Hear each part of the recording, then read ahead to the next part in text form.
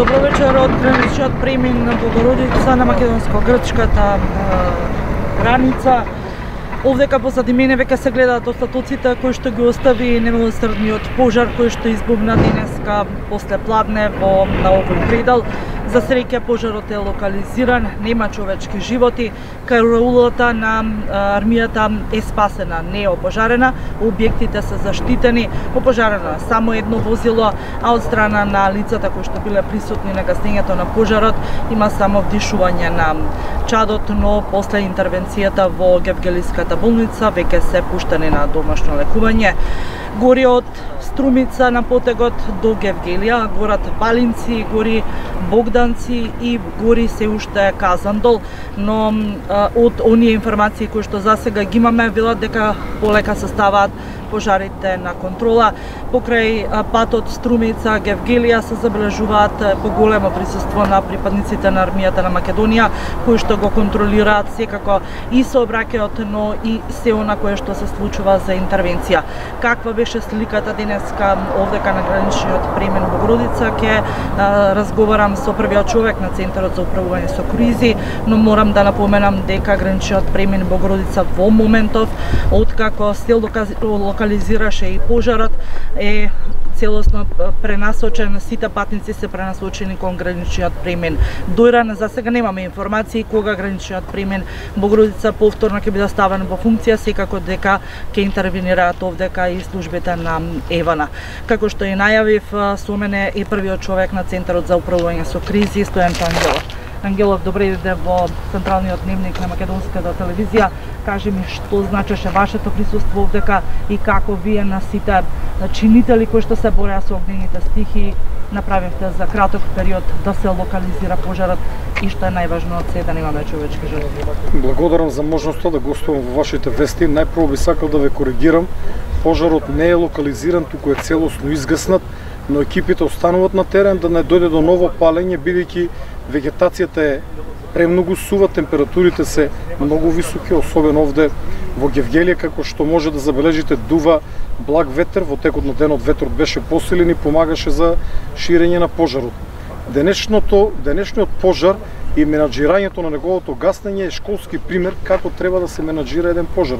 Од страна на градоначалникот најпрво беа ангажирани против пожарните единици од општината, откако тие не беа доволни, го ангажираше комуналното предпријатие и други вработени во локалната самоуправа, но откако огнената стихија уште повеќе се расшири, тој ги ангажираше соседните општини, односно побара помош од соседните општини и овде дојдоа против пожарни единици од Кавадарци, Неготино и Демир Капија, кои што помогнаа во гаснењето на пожарот. Воедно во гаснењето на пожарот учествуваа и припадници на армијата и помага и припадници на полицијата. Најзагрозена беше карулата која што се наоѓа овде зад мене, но таа е спасена. Нема никаква штета на карулата, благодарение на храбрата, храбрата битка со огнот на нашите храбри војници, од кои што за жал двајца вдиша гасови, не се во сериозна здравствена состојба, верувам дека брзо ќе бидат пуштени од болница. А, сакав да ве прашам, противпожарните единици се постојано на терен. Пред малку спомнав дека гори во Богданци, гори, гори во Кустурино, гори во Балинци. А, сметате ли дека необходна е поддршката и помошта од Центарот за управување со кризи на, на пожарникарите?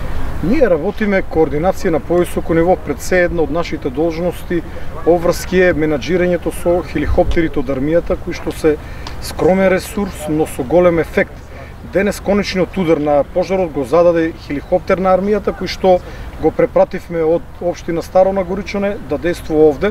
Ние едноставно денес се тркавме со пожарите.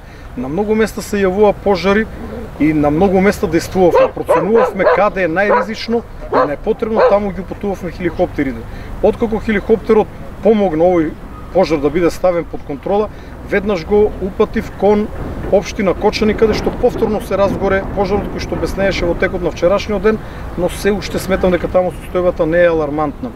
Во текот на вечерта, доколку успееме, ќе бидат ангажирани хеликоптери на српското воздухопловство, но веќе снемува време.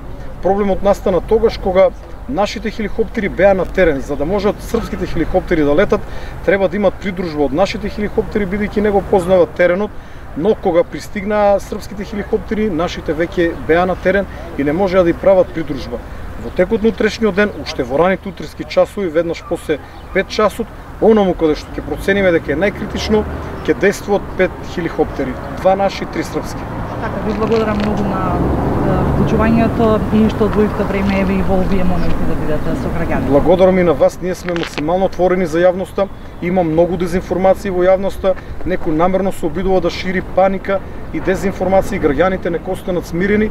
За нас се најважни човечките животи. На прво место, безбедноста на луѓето. Дрвјата повторно ќе пороснат, човечкиот живот нема да се врати. Затоа да ги заштитиме луѓето, дури потоа материјалните добра, ако има штета, општините и владата истата ќе ја надоместат. Ви благодарам. Нашите екипи остануваат на југоистокот да ги следат активните пожари кои што се уште беснеат на овој крај, а уште еден наш апел до сите граѓани кои што во наредните наредниот нареднава вечер и во текот на утрешниот ден ќе планираат да ја напуштат државата токму на овој граничен премин, да не се упатуваат овдека, туку веднаш да бидат упатени кон граничниот премин Дојран или Меджитлија.